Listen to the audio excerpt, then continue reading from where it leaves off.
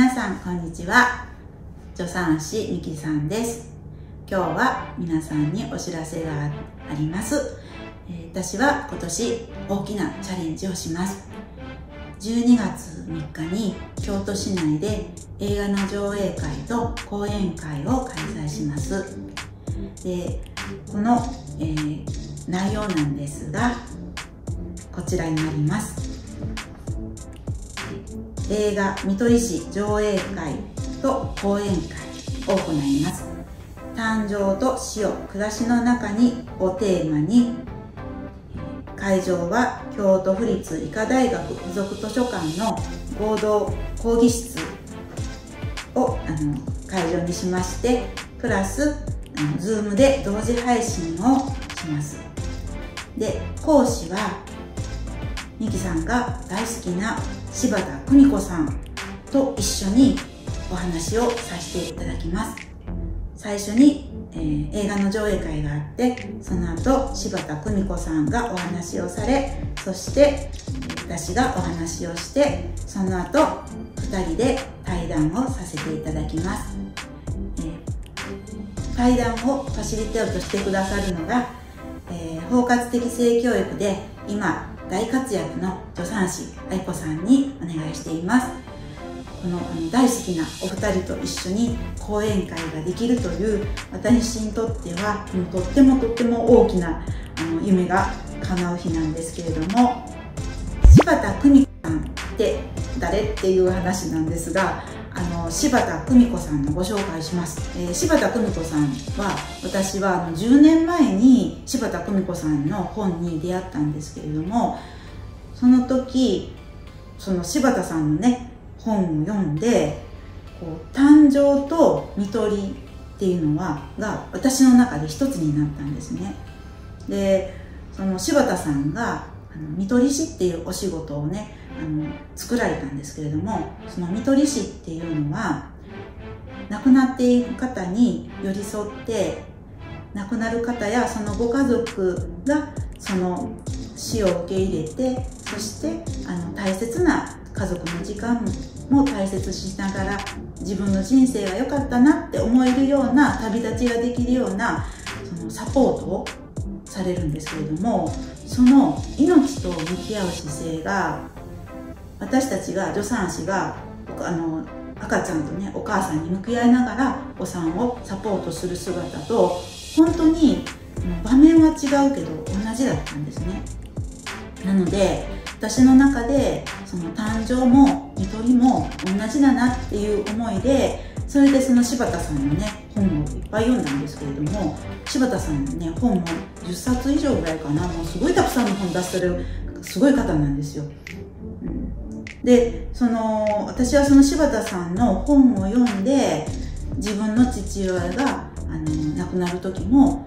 父をあの落ち着いて見送ることができました。私の中であの父のね見送りがあの悔いがないものにできたのはこの柴田久美子さんに出会えたからなんです。でその柴田久美子さんは今映画「見取り師」っていうあの映画を上映しながらこの見取り師の仕事を全国に広めておられるんですけれども、まあ、その柴田久美子さんと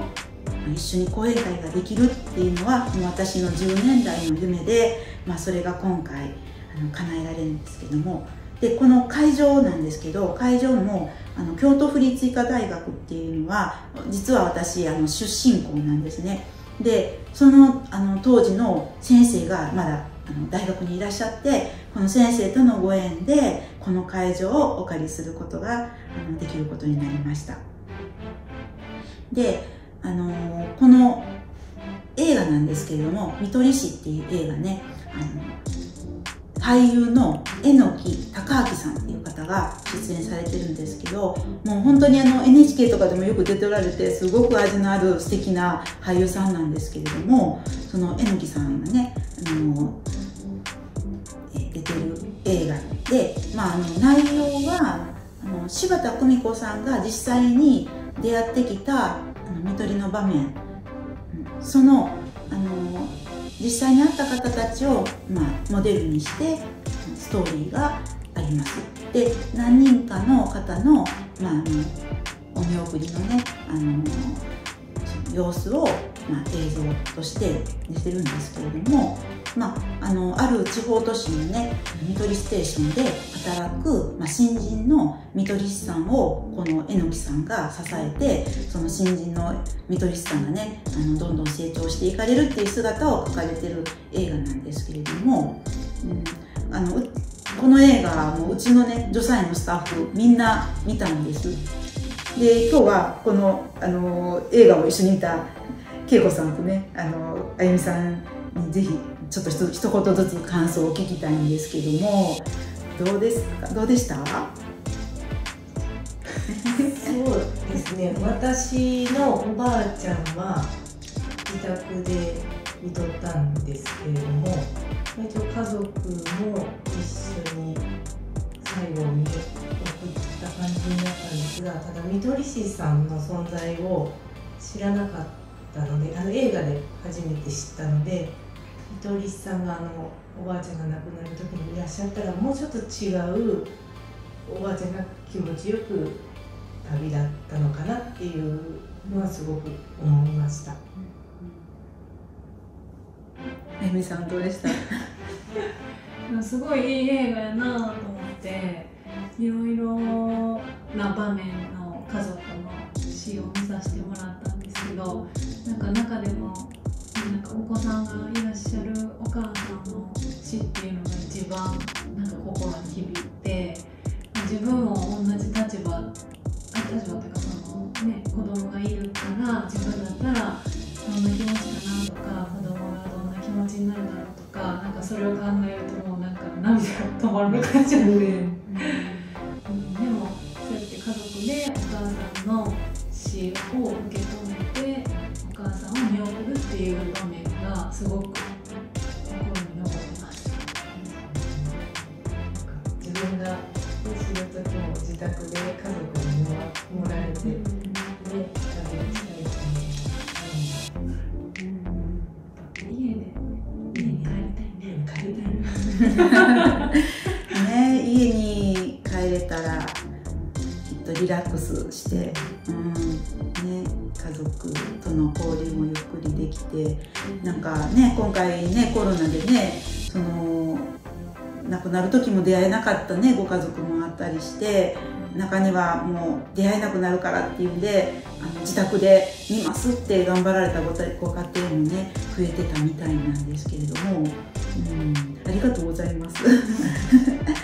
うん、あの今ね本当にあの超少子高齢化に突入してまして、まあ、これからどんどんあの高齢者が増えて亡くなる方が増えていく中でその施設でうん、入れるかどうかっていうのがもうねあの足りなくなるっていう話があるんですね。うん、でましてまたあのお産の方の現場ではその出産で命を落とすことは減ったけども、まあ、お母さんが子育てがしんどくてとかあの産後うつになったりとかうんなんかあの子供欲しくても授かれないとかっていうのでもうどんどん少子化がになっているしで実際に赤ちゃん無事に産んでももう病んでしまって自分で命を落とすお母さんも増えてるっていう中でこの命に対してもう一回こう誕生と死に向き合うことでこう命を大切にするっていうことが伝えられたらいいなって一つ思ってることとこうあの私の中でずっと思っているのはその誕生も死も人間の持ってる力を最大限に発揮できたらその誕生も死もそんな怖いことじゃなくて実はあのすごくこう幸せな体験になったりとか心にすごく残る大切な体験になったりっていうものになるんだっていうことをこの「その見取り師」っていう映画をね見るといろんなことを感じるんですね。うん、なので今回その本当にその誕生に関わってる私と看取りの現場で関わってあるあの柴田さんとどんなお話ができるかっていうのも私はすごいワクワクしてるんです。なので是非あの皆さん